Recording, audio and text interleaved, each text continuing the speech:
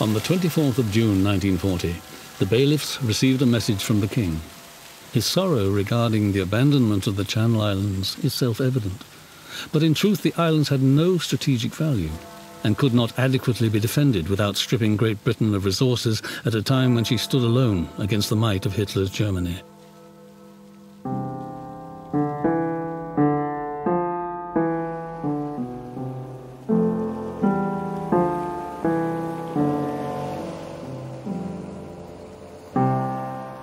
The Germans were not informed of the demilitarization, and in the meantime, an evacuation began.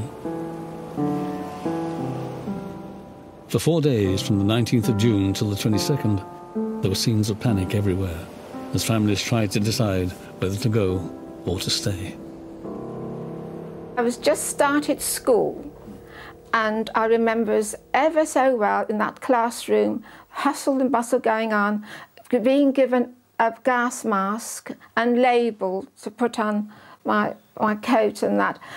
And then the next thing, it was sort of, we were sent home because the boat hadn't arrived to take us. We didn't know what was happening. We didn't know if there was a boat coming to fetch us. And the headmaster says, I'm sorry, but you must all go back home and come at two o'clock tomorrow morning. So uh, we all went back and I, uh, my mum and dad brought me to the school, uh, and there were a lot of other people. And there were buses waiting for us, and at about dawn it was, it was daylight. We stayed. I believe my brother wasn't very well, but I don't know if that wasn't a bit of an excuse for my father to stay because he was an out and out Jerseyman and he wouldn't have wanted to go, that I know, although we had the opportunity. No clear direction was given by the British government, and the advice given by the authorities varied from island to island.